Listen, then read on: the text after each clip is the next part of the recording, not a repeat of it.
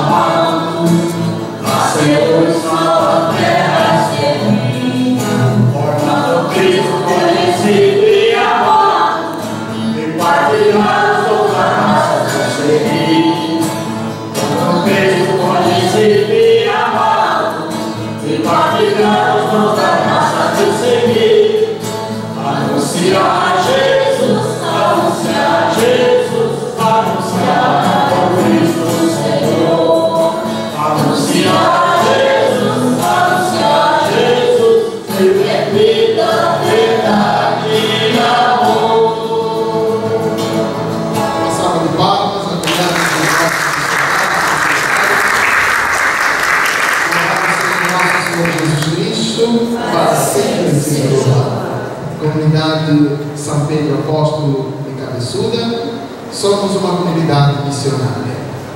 Bem-vindos e bem-vindas, de modo muito especial, gostaria de acolher a Dona Marta, que é a mãe da Franciele, falecida há sete dias, e acolher os filhos e os netos da Dona Zuma, que estão aqui, que faleceu há quatro dias. Nos unimos a vocês, queridos familiares, para sufragarmos a alma e a dona Sônia. E acolho também a cada uma e a cada um dos irmãos e irmãs que vieram para esta Santa Missa, bem como você que nos acompanha pela live, pela internet e pelo YouTube. Vamos então agora nos posicionar para colocar o cartaz, desbrado aqui e iniciar a Santa Missa.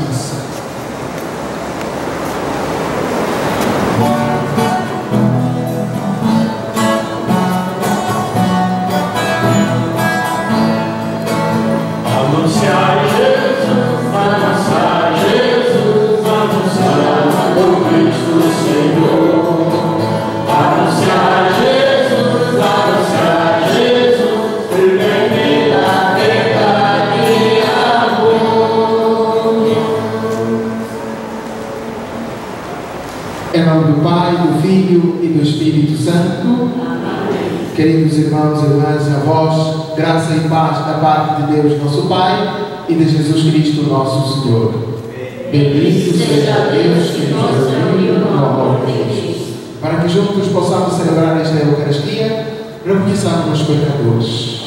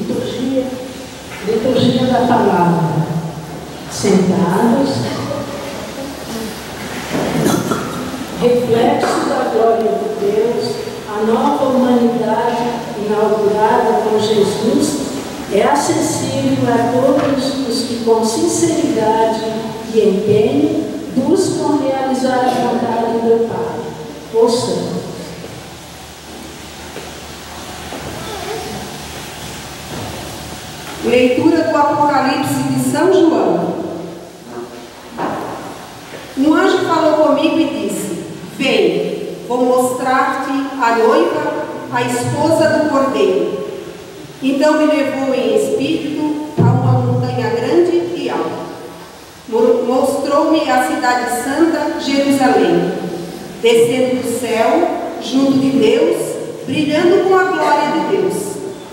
Seu brilho era como a de uma pedra preciosíssima, como o brilho de jaspe cristalino.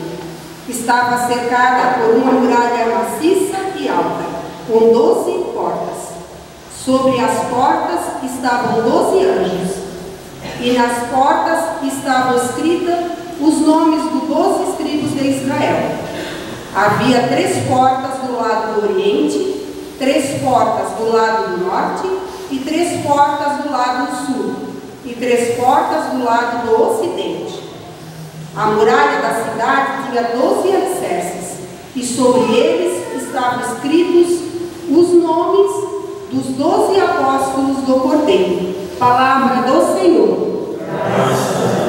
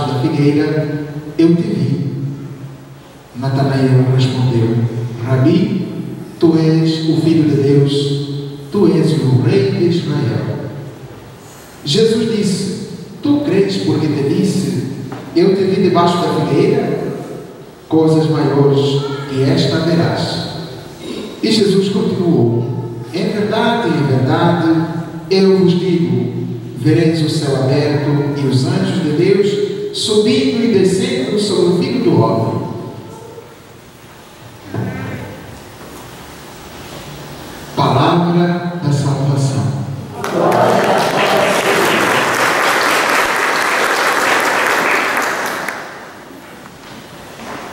Vem para ver aquela pessoa que eu digo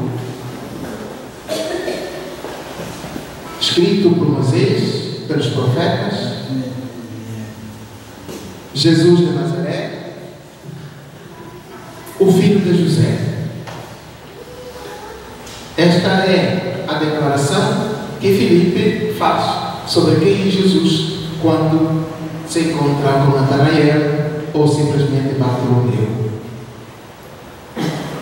A intenção de Filipe era de fato levar Natanael até Jesus para que ele tivesse feito uma experiência pessoal com ele e, com a sua própria consciência, ele acreditasse que de fato Jesus é o Filho de Deus. Todavia, nós encontramos em Natanael alguém cético, alguém que não acredita logo de primeira, talvez dada a sua cultura, e talvez porque de Nazaré nunca tinha vindo alguém de peso, como por exemplo, de uma família humilde. Nós que nos habituamos com famas, pessoas de destaque, pessoas que têm dinheiro, que têm um poder maior. Nós que nos habituamos com pessoas que de fato gozam de reputação, que talvez tenham passado pelas universidades, tenham tido canudos, Dizer que de uma família humilde, de uma família pobre, venha algo de extrema importância, não se acredita tanto. Dizer que, por exemplo, de uma, de uma aquilo que o Papa Francisco diz das zonas, das, das zonas existenciais periféricas, vir uma pessoa de grande peso é de duvidar. Mas se dizer se disser, por exemplo, o Jurerê Internacional, quem tem casa no Jurerê Internacional, quem tem casa em Brasília, talvez ser alguém do Supremo Tribunal se pronuncia, um doutor se pronuncia, talvez um psicólogo se pronuncia, um médico se pronuncia, lhe dê esse crédito. Mas de Nazaré poderá vir alguma coisa boa? É um descaso o não valorizar a pessoa por ser pessoa. A partir dessa pergunta, nós podemos fazer interrogações. Como nós tratamos as pessoas pobres, carentes, as pessoas humildes? Logo, a primeira impressão são as rotulações. Nós rotulamos, nós vemos as pessoas e as julgamos. E é por isso que a Sagrada Escritura nos diz que Deus vê o coração enquanto, vê, vê, enquanto o homem vê simplesmente as aparências. Necessitamos entrar no segredo do pensar e do sentir de Deus. Embora Natanael tenha respondido assim a Filipe, Filipe insiste Venha ver com teus próprios olhos. Porque ouvir só não basta. É necessário que você toque em Jesus, porque desse Jesus, do toque de Jesus, nós enxergaremos e chegaremos a uma conclusão que podemos ser curados. As feridas, as mágoas podem desaparecer. O sentimento de perda, Dona Zuma, queridos, de lei, mãe, e toda a família, Vanderlei, os irmãos, a dona Zuma, vocês, irmãs da Franciele, a dona Marta que está aqui, e toda a outra família, todos nós que estamos aqui na igreja, que queremos uma graça especial, talvez pela saúde da dona Lídia, Marileia, pela saúde de você que está doente e que quer que de fato Jesus lhe dirija uma palavra, não se esqueça que o ser prima sobre o ter. Os nossos relacionamentos não devem se fiar nas coisas materiais, porque tudo isso passa. Olhemos para, voltemos para o nosso texto. Quando Natanael chega diante de Jesus, mais do que ele ver Jesus, Jesus o viu primeiro. Aí vem um verdadeiro israelita, em quem não há fingimento. Olhe, nós falamos um pouquinho agora que Natanael era cético. Não queria acreditar, porque ele era verdadeiro, não era fingido. E Jesus agora diz: aí vem um verdadeiro Israel.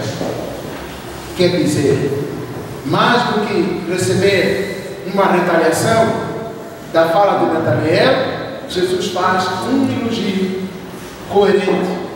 Porque de fato Natanael era coerente. Natanael era verdadeiro, não era falso. Não dizia assim, agora depois diz não.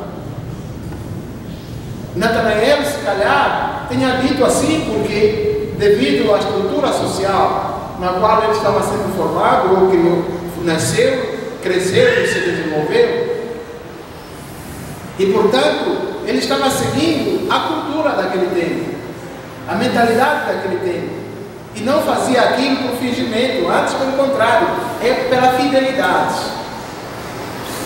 Jesus diz: aí vem um verdadeiro israelita em quem não há fingimento. É uma chegada, uma chega também que Jesus faz a todos nós para que deixemos de ser falsos, deixemos de ser fingidos, que a nossa linguagem seja assim quando é sim e não quando é não. Toquemos com o. Quando Natanael ouve aquelas palavras, sente-se mexido e comovido e pergunta a Jesus: De onde tu me conheces? E Jesus lhe olha, meu rapaz, antes que Natanael, antes que Filipe te chamasse, eu te vi quando estava debaixo da figueira. Quando ainda estava longe, nem sequer se tinha pensado em ir a encontrar-se com Jesus.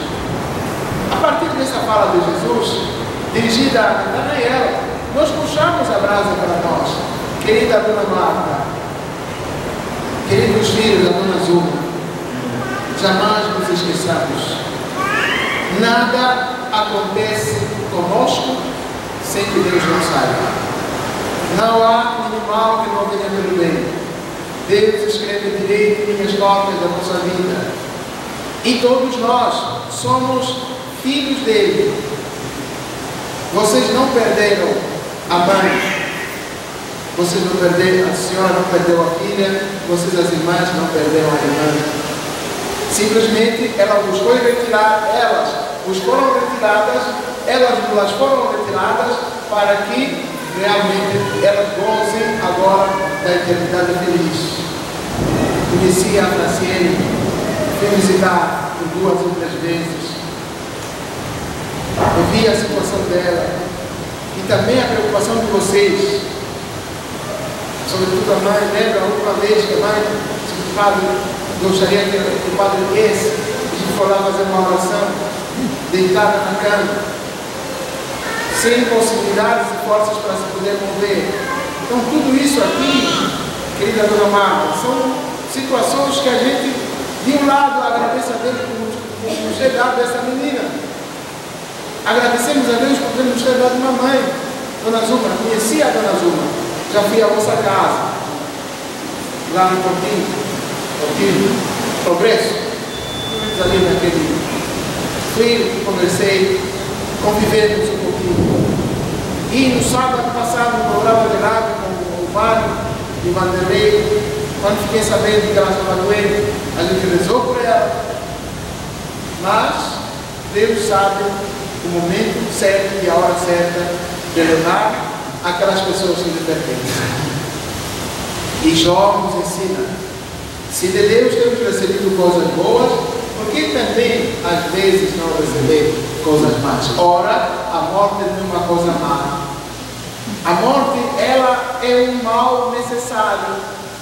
É necessário, é, é preciso que a gente morra para entrar no céu. E dói, entretanto, perder uma pessoa que nós amamos. Dói, entretanto, perder a filha, perder a irmã, perder a mãe, perder a avó, perder alguém dentre nós. Mas a fé nos garante que nós juntos estaremos no céu. Aquilo que São João viu no livro do Apocalipse, capítulo 21, versículos 9b até o versículo 14. Um anjo falou comigo e disse: Anjo, é lá de cima, não é daqui. Vem, vou mostrar-te a noiva, a esposa do poder. Se no Evangelho nós somos conduzidos até Jesus, o noivo, na primeira leitura nós somos conduzidos a olhar a noiva, a igreja triunfal, a igreja daqueles que passaram por este mundo, combateram o bom combate na linguagem de São Paulo, terminaram com êxito a sua carreira, guardaram a fé e hoje estão lá no céu, ao lado e em companhia, na companhia dos 24 anciãos, que numa linguagem metafórica, o texto segundo São João, o Apocalipse, diz: Sobre as portas estavam doze anjos, e nas portas estavam escritos os nomes das doze tribos de Israel. Havia três portas do lado do Oriente, três portas do lado norte, três portas do lado sul, três portas do lado do Ocidente. A muralha da cidade Olha, estava alicerçada. Hum? A morada da cidade tinha doze alicerces e sobre eles estavam escritos os nomes dos doze apóstolos. Para dizer o quê? A igreja. A igreja que, oriunda das doze tribos de Israel, é fundada sobre os doze apóstolos e 12 mais 12, 24 e essas 24 pessoas, então, 24 tribos, perfazem aqueles 24 anciãos que, juntamente com os anjos, os arcanjos, os serafins, nos aguardam quando chegar a nossa hora. É por isso que você e eu, meu irmão, minha irmã, não podemos nos encher de tristeza por causa da perda de uma pessoa querida. Antes, pelo contrário, o que deve permear as nossas lágrimas os nossos sentimentos, os nossos pensamentos devem ser saudáveis, pois só se tem saudades daquilo que é bom. Olhar para a filha, cuidar dela, olhar para a irmã, cuidar dela, olhar para a mamãe, todos os santos dias. Mamãe, mamãe, mesmo distante de lei, longe, mas chamando, mamãe. Tudo isso aqui provoca em nós, deixa em nós saudade, sobretudo sabendo que quando chegar o dia das, das mães, a cada manhã, a cada entardecer, a cada anoitecer, nós já não estaremos com a nossa mãe fisicamente ali ao lado. Mas ela continua presente nas suas obras, nos seus feitos, que não serão apagados jamais. Tudo aquilo que a vossa mãe fez por vocês é o que deve marcar a nossa vida sobretudo a unidade, a solidariedade, a comunhão, a partilha, o espírito de família. E, claro, aquilo que ela mais nos ensinou, ser homens e mulheres de fé, de confiança e esperança em Deus. Lutem por aquilo que vos une e não por aquilo que vos divide. Porque aquilo que vos divide não é dos anjos, não é do céu, Aquilo que vos divide é daqui da terra. Eu não sei qual é a coisa que nos pode dividir. Pode ser a ambição, pode ser o orgulho, pode ser a vaidade, pode ser a soberba, pode ser a ganância, pode ser a prepotência, pode ser esse espírito de querer aparecer, pode ser esse espírito de humilhar os outros e rotular os outros, como aconteceu na primeira leitura de Nazaré pode vir alguma coisa boa? Deus vê o coração, enquanto o homem vê somente a cara. Não paremos naquilo que é externo.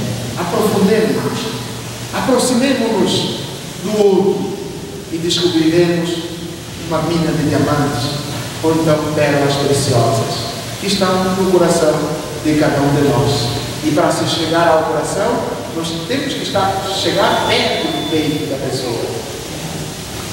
Temos que chegar perto do ouvido da pessoa, olhar nos olhos, para sabermos o quanto nós muitíssimas vezes erramos e nos iludimos quando rotulamos ou então julgamos os outros ou fazemos planos macabros contra o nosso irmão e a nossa irmã.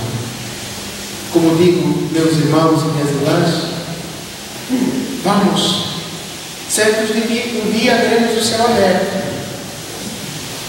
E o Filho do Homem, vindo com poder e glória, e os seus anjos subindo e descendo sobre ele. E nós, como igreja, então, seremos chamados, vindo, benditos na casa do meu Pai. Entrai e tomai posse do reino que nos está preparado a criação do mundo.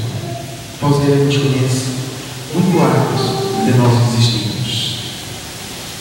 Disse Jesus no texto segundo São Pedro, São, São Mateus, buscai em primeiro lugar o reino dos céus e a sua justiça, e o resto nos será dado por acréscimo. Não se preocupem com coisas materiais. Olhai para os lírios dos campos. Olhai para os pássaros do céu. Eles não plantam, não semeiam. Entretanto, o Pai que está lá no céu, no céu, Ele dá o necessário para cada um. Se vós, que valeis muito mais, vós que valeis muito mais do que os pássaros, do que os lírios dos campos, não terão muito mais do que os pássaros que valem pouco em relação a cada um de vocês? Uma pergunta que Jesus faz para que todos nós voltemos a nossa atenção para o céu, de onde nos vem o nosso auxílio, de onde nos viemos e para onde nós um dia voltaremos, graças a Jesus Cristo que assumiu a nossa humanidade e tendo sido crucificado, morto, ele ressuscita para que todos nós possamos ter graça e sobre graça, para que todos nós um dia mesmo mortos, possamos ressuscitar para com Ele vivermos eternamente.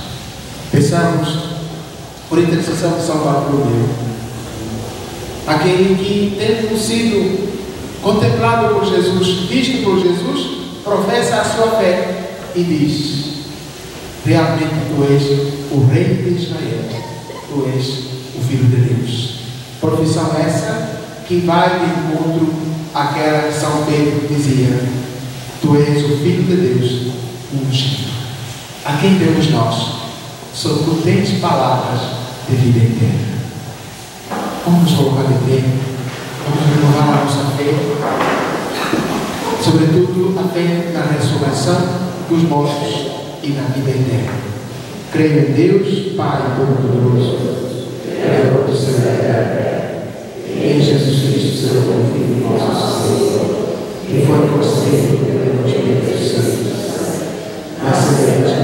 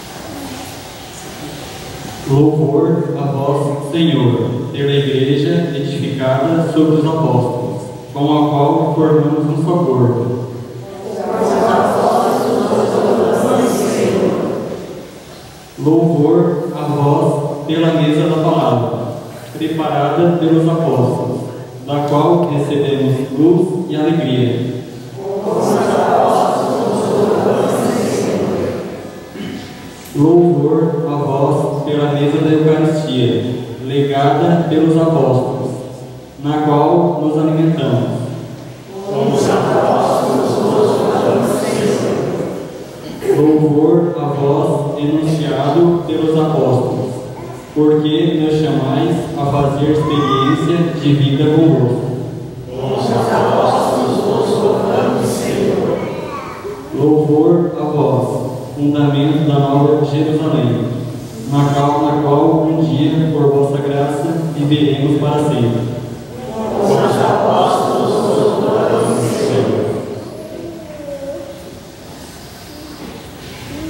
Senhor Jesus, destes, desde a Pedro e aos demais apóstolos a chave do reino.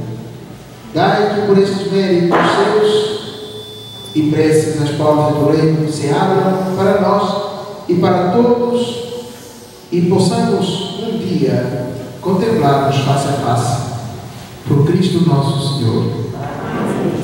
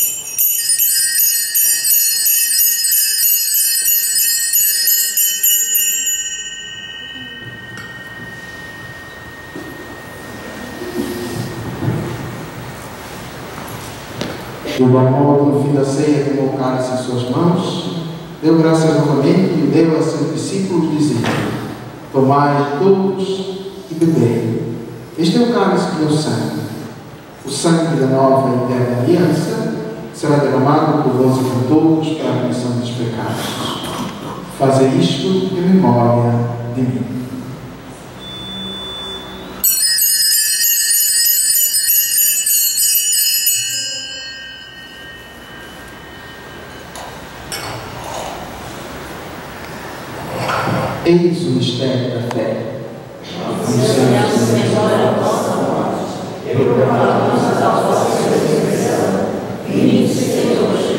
Celebrando em vossa memória da morte e ressurreição do vosso Filho, nós vos oferecemos ao Pai o pão da vida e o cálice da salvação e vos agradecemos porque nos tornaste dignos de estar aqui na vossa presença Senhor.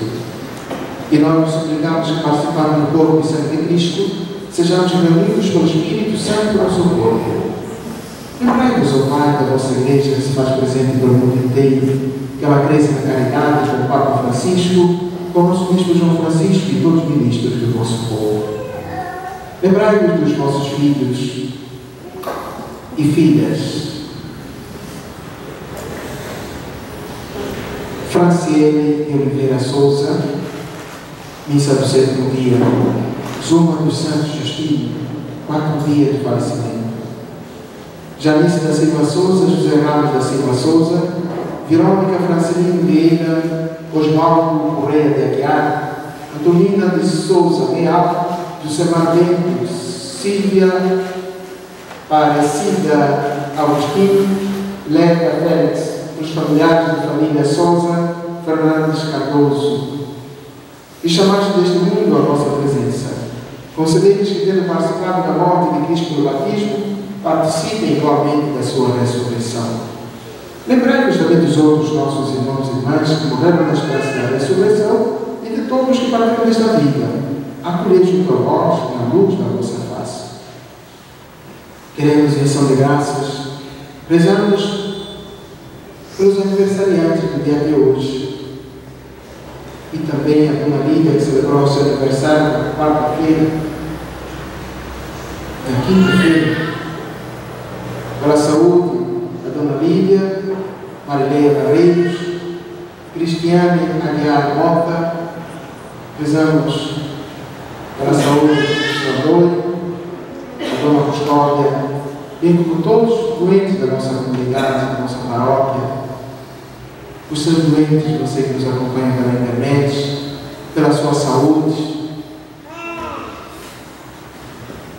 Enfim, nós pedimos ter piedade de todos nós. Dar-nos participar da vida eterna com a Virgem Maria, Mãe de Deus, São José, seu esposo, com os santos apóstolos, São Pedro São Bartolomeu, cuja festa estamos a celebrar.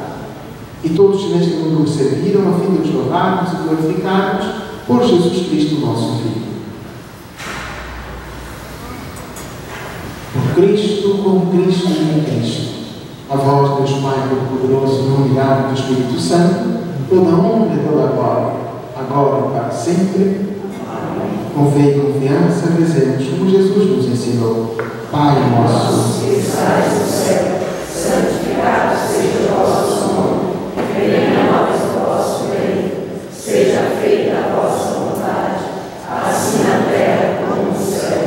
O pão nosso de cada dia nos dai hoje, perdoai as nossas ofensas, assim como nós perdoamos a quem nos tem ofendido, e não nos deixeis cair em tentação Livrai-nos de todos os males, ó Pai, dai-nos hoje a vossa paz. Ajudados com a vossa misericórdia, sejamos livres do pecado e de toda a perturbação, enquanto vem da esperança, aguardamos a vida de Cristo, nosso Salvador.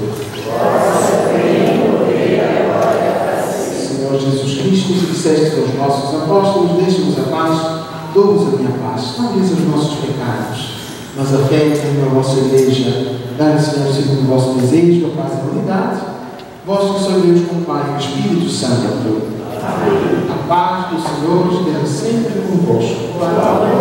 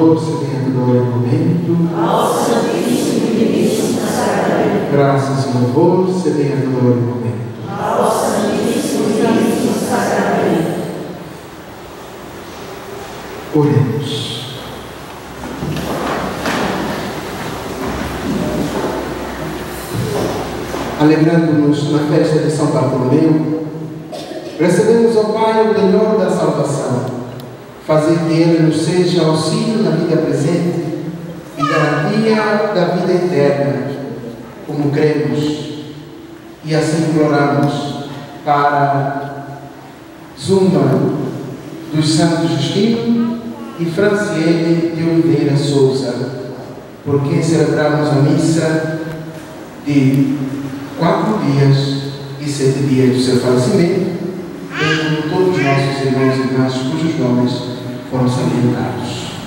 Por nosso Senhor Jesus Cristo, nosso Filho, que é Deus convosco, na unidade do Espírito Santo. Amém. Nesse momento, nós vamos proceder à chamada dos missionários e missionárias e fazer a benção do envio aqui da nossa, da nossa matriz.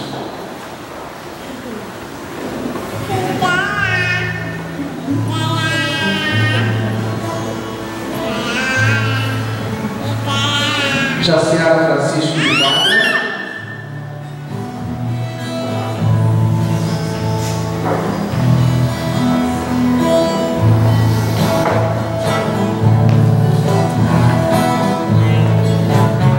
Receba a chama missionária. Ser Jesus Cristo, luz do mundo, para você mesma, para a sua casa, sua família e para esta comunidade. E eu te abençoo, em nome do Pai, do Filho e do Espírito Santo. Fernanda Batista Fidelis.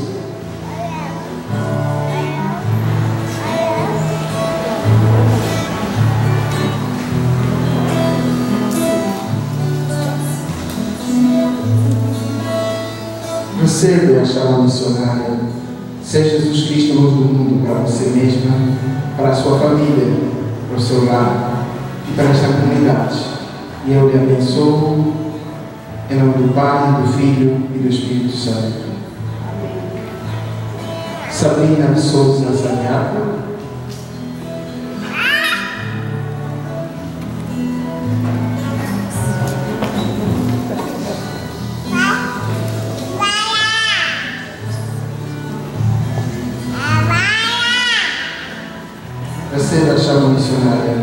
Jesus Cristo luz do mundo para você mesma e para a sua família e para esta comunidade. Eu lhe abençoo em nome do Pai, do Filho e do Espírito Santo. Amém. Volta aí, Cristo Aviado.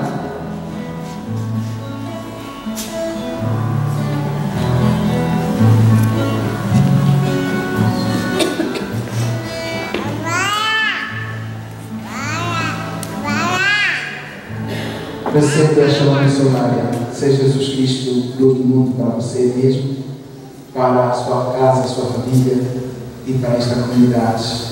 E eu lhe abençoo do Pai, do Filho e do Espírito Santo.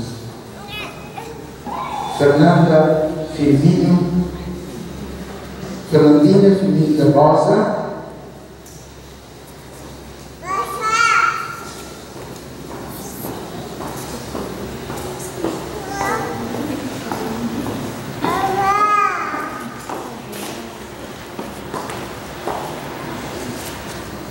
Recebe a chama missionária, seja Jesus Cristo do mundo para você mesmo, para a sua família. E eu lhe abençoo para esta comunidade também. Eu lhe abençoo em nome do Pai, do Filho e do Espírito Santo. Ivonete Miguel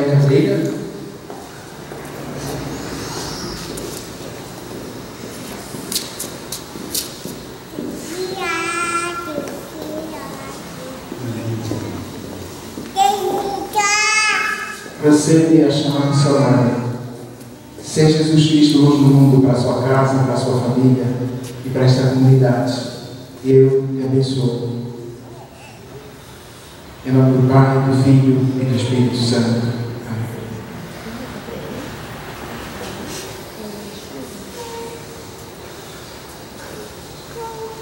Irina Fernandes Lima.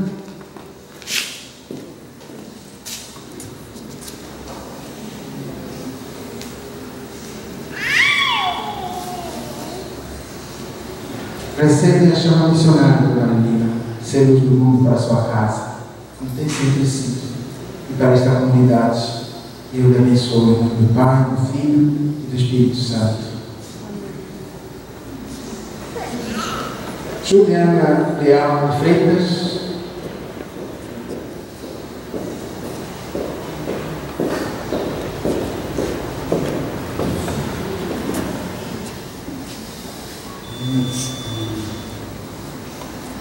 Receba a chama missionária. Seja Jesus Cristo luz do mundo para a sua casa, para a sua família, para esta comunidade. Eu lhe abençoo em nome do Pai, do Filho e do Espírito Santo.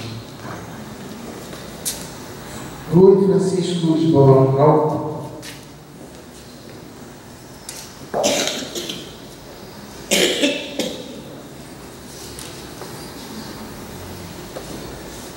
Receba a chama missionária. Seja Jesus Cristo o do mundo para a sua casa, para a sua família, para o seu lar, para esta comunidade, inclusive para o movimento de irmãos. E eu o abençoo em nome do Pai, do Filho e do Espírito Santo. Dilei Manuel Souza.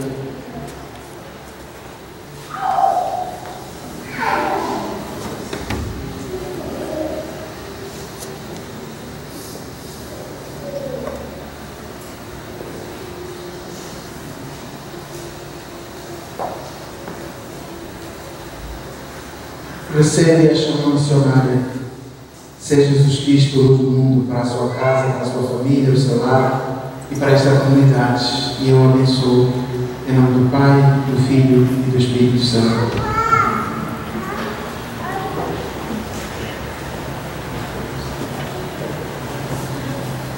Alexandre Santos Souza.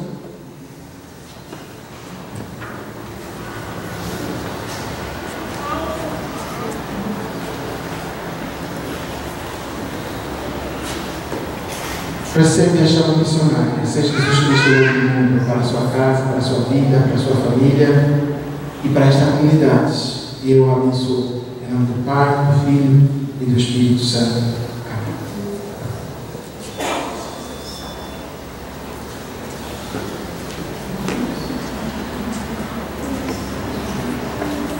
Queridos missionários e missionárias, a partir de hoje vocês tomam peito a missão de anunciar Jesus Cristo. Que essas chamas acesas não somente brilhem para os outros, mas sobretudo iluminem o vosso caminho, a vossa vida, as vossas ideias, os vossos pensamentos. Iluminem os vossos olhos, os vossos ouvidos, para que vocês sejam uma voz de Jesus, que vocês sejam a mão de Jesus, que vocês sejam o olho de Jesus, os ouvidos de Jesus, sejam os peitos de Jesus, sejam sobretudo o coração de Jesus. Coração manso, amigo, um coração cheio de ternura e de bondade, um coração que se desgasta para que o outro tenha vida e a tenha em abundância.